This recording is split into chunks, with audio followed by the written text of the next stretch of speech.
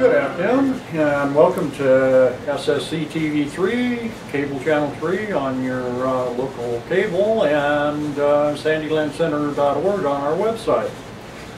Welcome to spring. It's going to be 77 degrees today. I don't know where that came from, but it's sure different than what it sure looked like the other day, and I'm so tired of being cold, I'm really happy to see it.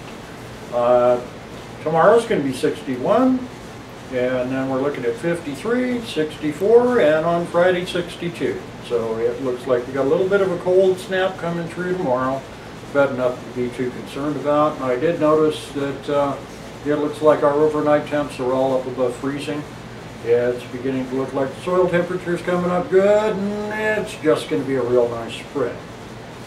We want to say a happy birthday today to Marie Smith. She's uh, one of our favorite volunteers down here and my neighbor, to be honest. And I hope you have a wonderful today day today, Marie.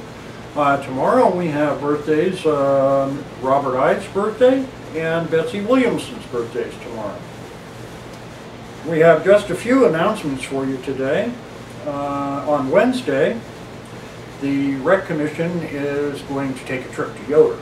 And they're going to do the parade of quilts in Yoder, and then they're going to, I guess you go from one place to another and see the quilts at the various uh, uh, shops. They're going to have a family-style meal at Carriage Crossing. They'll be leaving at 8, uh, 9 o'clock in the morning, and they'll be returning at 4 in the afternoon. That's Rec Commission, and the cost is uh, $20. Then uh, next week, the, on Tuesday, March the 18th, they have the casino trip or shopping trip uh, to Dodge City. They'll leave at the normal time and return it to St. John by 4 o'clock in the afternoon. The fee on that is $10, uh, help defer the cost of gas. Uh, food. We're already to food. I must not have done much for news. We have food in Macksville at the VIP Center today. What are they having? Oh, oh, today is beef stroganoff over noodles. They're going to have stewed tomatoes. Tomorrow is chicken and rice casserole and green beans. Uh, Wednesday is a ribbit, broccoli rice casserole and beets. I'm still not sure what a ribbit is but I guess that's maybe a frog.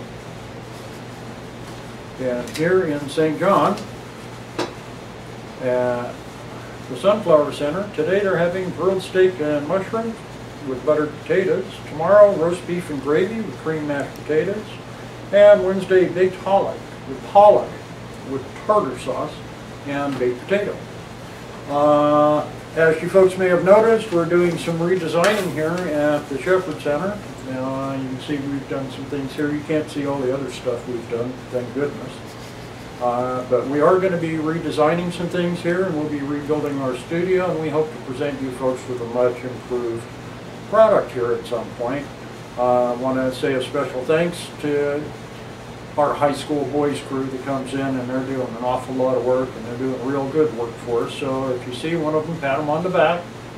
Uh, that's all the news and announcements I have for you today. And the word of the day is this.